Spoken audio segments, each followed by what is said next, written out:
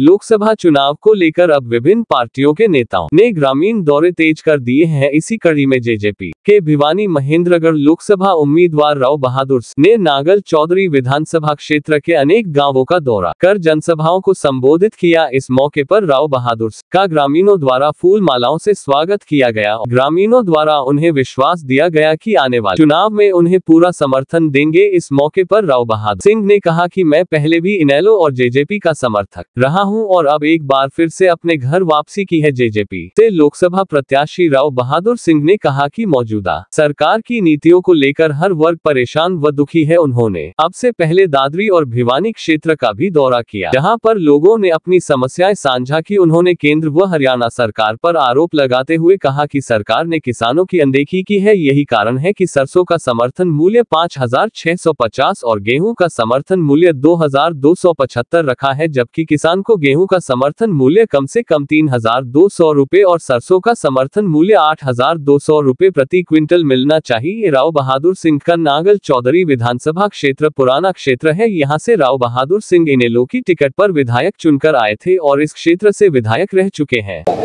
जहाँ तक बात करते हैं, पहली बात तो हमने तुसाम से चालू किया।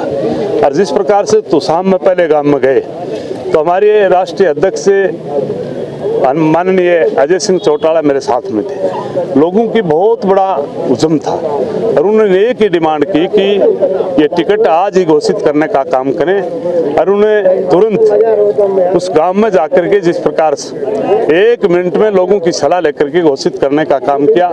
जब लोग मुझे टिकट दिवाएँगे और देने वाला जब गाँव में टिकट देगा, गाँव की सलाह लेकर के देगा तो इस बात को तो आपको पता है कितना मान सम्मान आपका हो रहा है। बल्कि फ़सल कटाई का टाइम है। इस वक्त जमींदार अपने खेत में लेकिन जब बहादुर सिंह या अजय सिंह चौटाला या जेजीपी पार्टी की कोई बात सुनता है तो तुरंत घर छोड़ करके और अपने चौपाल में या मंदिर में आकर के आपका स्वागत करने का काम करता है। मैं जहाँ तक समझता हूँ कि एक के ऊँट के में, ऊँट के मुँह में जीरा गिरने की बात।